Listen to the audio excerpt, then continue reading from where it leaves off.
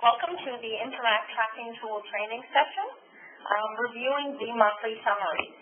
Um, today we're going to look at the January 2014 and the February 2014 uh, worksheet. My name is Dinah Barnes, and I'm a project coordinator here at Healthcare Quality Strategies Incorporated.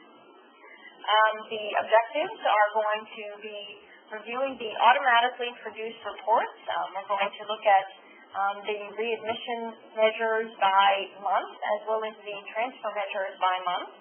Um, and just a note for printing, uh, reports have been automatically set up to print one report per page, um, so that's a very nice feature. I'm going to pop out of the uh, PowerPoint here, and we're going to enter into the um, Excel document. Um, we're going to look at the um, January 2014 um, monthly summaries. Um, and as I scroll over here on the bottom of the sheet, you will see that you have um, January through, um, we'll just go one more over, um, through December. Um, so right now we're just going to focus on the January and February um, reports. Again, these are automatically produced for you. And the most important thing to note right here in the white information section is to look at the date um, here at the very bottom. This is going to tell you when this particular report is considered complete um, because it does automatically calculate for you and determine based on your transfers um, to the hospital and when um, patients' uh, discharge dates from the hospitals occurred, whether or not your data is mature.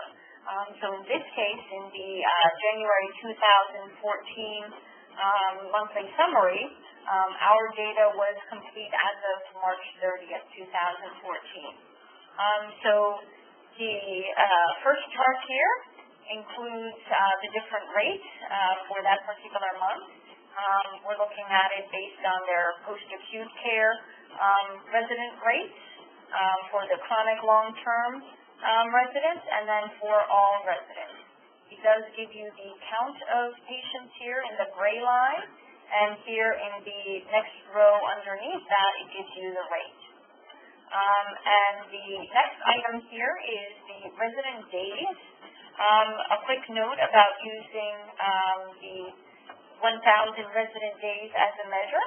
Um, it allows you to track your facility's progress over time.